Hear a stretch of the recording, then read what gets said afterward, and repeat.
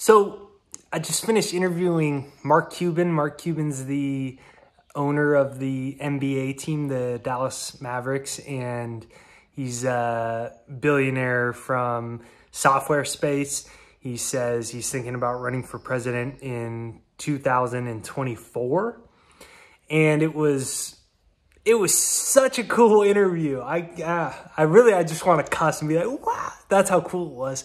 So I did on my new channel, which the link for it's right there down below. It's my new channel. It's called I Love Prosperity. It's more like a it's more like a financial channel.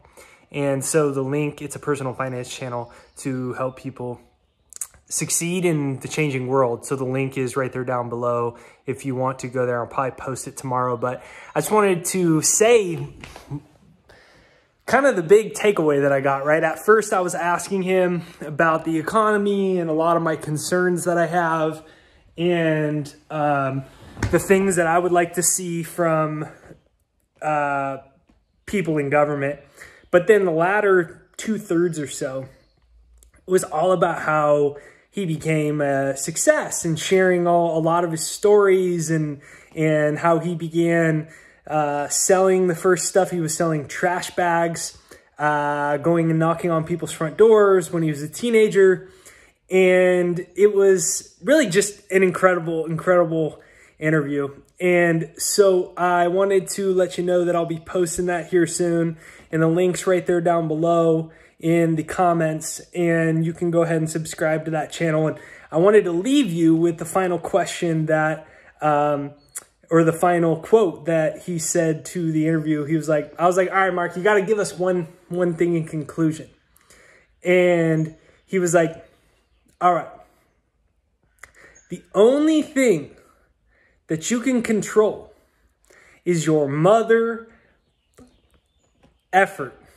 That's the only thing you can control. He said, is your mother effort.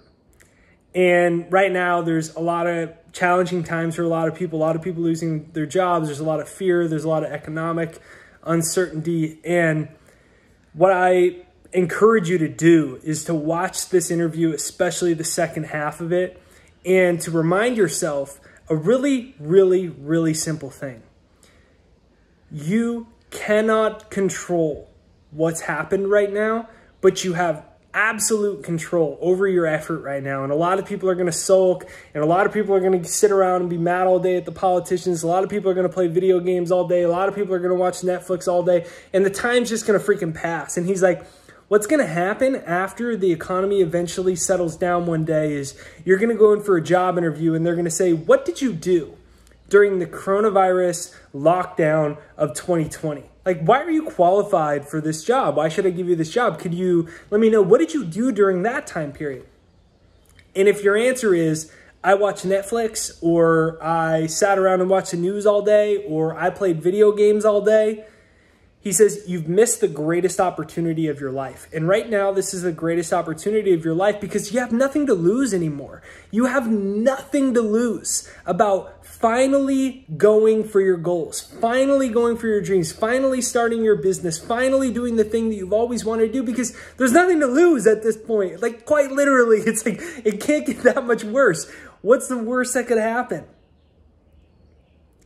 And it's a really important message. And so I want to encourage you to watch the interview all the way through and to consider that what's the worst that could happen? What do you have to lose? Nothing. It's time to make it happen.